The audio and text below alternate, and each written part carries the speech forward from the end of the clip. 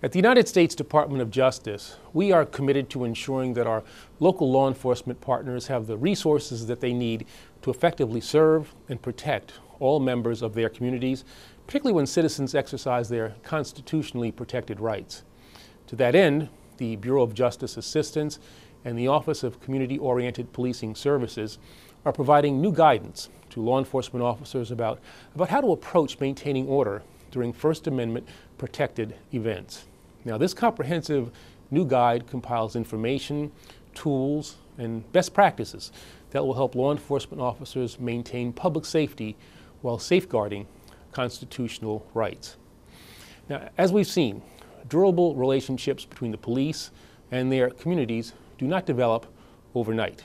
But as someone who has spent a, a career at all levels of law enforcement and as the brother of a retired police officer, I know the importance of these outreach efforts to ensuring effective neighborhood policing, officer safety, as well as community health. The Justice Department encourages law enforcement officials in every jurisdiction to work with the communities that they serve to minimize needless confrontation. It is vital to engage in planning and preparation, from evaluating protocols and training to choosing the appropriate equipment and uniforms. Now, this is the hard work that is necessary to preserve the peace and to maintain the public trust at all times, particularly in moments of heightened community tension. Now, over the past few months, we've seen demonstrations and protests that have sought to bring attention to real and significant underlying issues involving police practices, implicit bias, and pervasive community distrust.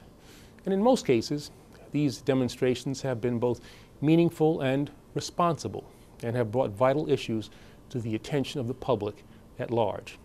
Similarly, and I want to emphasize this, the vast majority of law enforcement officers have honorably defended their fellow citizens engaged in these peaceful protests.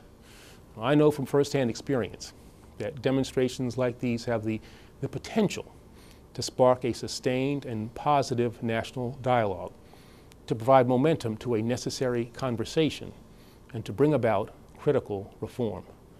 But history has also shown us that the most successful and enduring movements for change are those that adhere to non-aggression and non-violence. And so, and so I ask all those who seek to lend their voice to important causes and discussions and who seek to elevate these vital conversations to do so in a way that respects the gravity of their subject matter. Peaceful protest has been a hallmark and a legacy of past movements for change, from patriotic women who demanded access to the franchise to the civil rights pioneers who marched for equal rights and equal justice. Americans exercising their First Amendment right to free assembly should look, look to those examples as they work to bring about real and lasting change for themselves and for future generations. Now, of course, I recognize that progress will not come easily, and long simmering tensions will, will not be cooled overnight. These struggles go to, to the heart of who we are and who we aspire to be, both as a nation and as a people. And it is clear that we have a great deal of important work still to do. But as we move forward, the Department of Justice and I personally will continue to work with law enforcement and communities throughout the country to help build the more perfect union and the more just society that all Americans deserve.